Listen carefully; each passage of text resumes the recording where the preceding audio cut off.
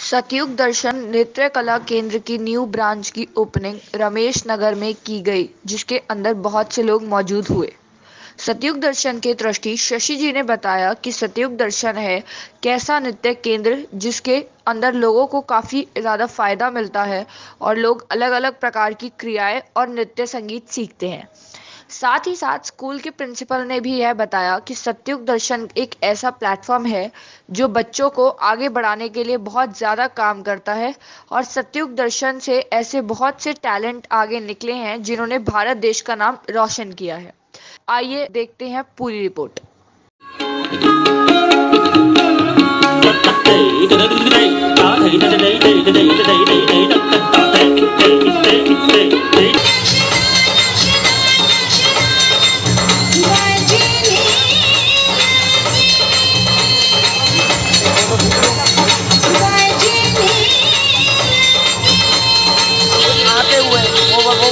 सतयुग दर्शन संगीत कला केंद्र का आज से शुभारंभ हो चुका है।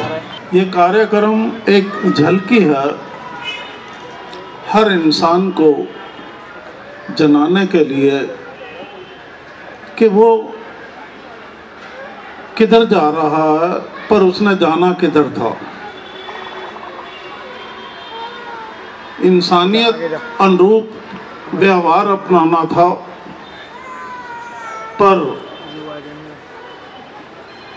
मोह माया में उलझकर दुई द्वेष का व्यवहार अपनाकर अपनी प्रसन्नता खो दी, अपने परिवारजनों की प्रसन्नता खो दी और कुल समाज उससे प्रभावित हो गया। और ये प्रभाव इतना गहरा हुआ कि अधिकतर इंसान अधिकतर इंसान दुराचारिता के प्रतीक बन गए सतयुग दर्शन की फ़ीस ही अपने आप में बहुत कम है और फ़ीस के अलावा हमारा एक माध्यम अपना ऐसा है कि हमारी इतनी ब्रांचेज हैं ऑल ओवर इंडिया में।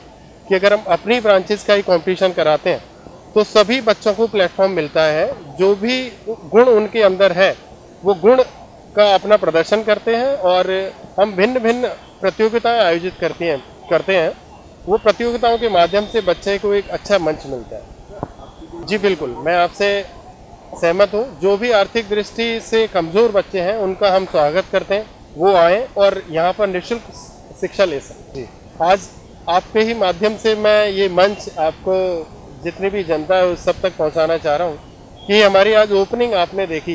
तो ऐसी ही ओपनिंग जैसे आज आपने देखी है तो आने वाले समय में हम समय समय पर ऐसी प्रतियोगिताएँ आयोजित करते हैं, ऐसे प्रोग्राम्स आयोजित करते हैं। इसके अलावा हमारी जो हेड ऑफ़िस है, जहाँ पर फरीदाबाद में सतयुग दर्शन, भूपानी में ये स्थित है। तो भूपानी में एक बहुत बड़ा ऑडिटोरियम हमारा अपना, जहाँ पर हम साल में एक दो तीन चार ऐसे प्रोग्राम्स आयोजित करते हैं जिनमें बच्चा अपनी प्रतिभा का प्रदर्शन कर सकता है। बेसिकली क्या है कि वो हमारे मार्ग दर्शक हैं सतयुग दर्शन ट्रस्ट के मार्गदर्शक हैं जो सतयुग दर्शन ट्रस्ट कार्यरत है उन्हीं के मार्गदर्शन से कार्यरत है। विभिन्न शहरों में संगीत कला केंद्र चलते हैं विभिन्न अलग दिशाओं में हमारा सतयुग दर्शन ट्रस्ट कार्यरत है। ह्यूमैनिटी ओलंपियाड हमारा होता है प्रतिवर्ष। जिसमें आज का युवा उसमें जुड़ा हुआ है। ये जैसे इंग्लिश का, साइंस का ओलंपियाड आयोजित होता है। ऐसा ही एक हमारा ह्यूमैनिटी ओलंपियाड हम कराते हैं, जिसकी कोई फ़ीस नहीं है और उसके माध्यम से बहुत सारे युवा इसके अंदर जुड़े हुए हैं।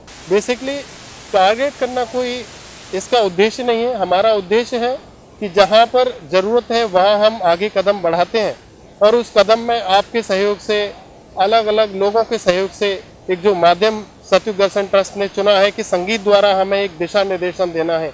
बच्चों को एक अच्छी राह देनी है। उस राह में हम अगर अपना सहयोग दे सकें, यही हमारा